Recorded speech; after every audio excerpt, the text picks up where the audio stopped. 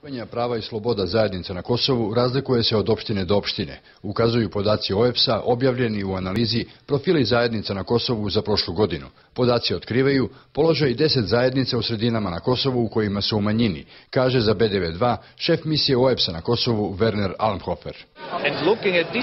I kada se sagleda situacija koja tišti sve zajednice u nevećinskom položaju, sve one imaju isti problem, dele iste probleme vezano za slobodu kretanja, za bezbednost.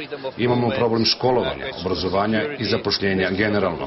Ono što je veoma značajno i zajedničko jeste ekonomski paket, važan za sve zajednice.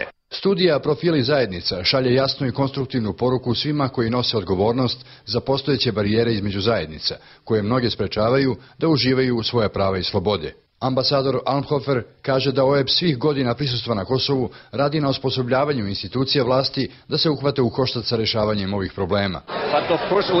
Ali kao što sigurno znate, OEBS nema izvršnu funkciju i ulogu na Kosovu. Ona je više savjetodavna preko preporuka i upravo ovi profili sadrže preporuke koje jedino mogu da utiču da se reše problemi u saradnju svih lokalnih i centralnih institucija i međunarodne zajednice.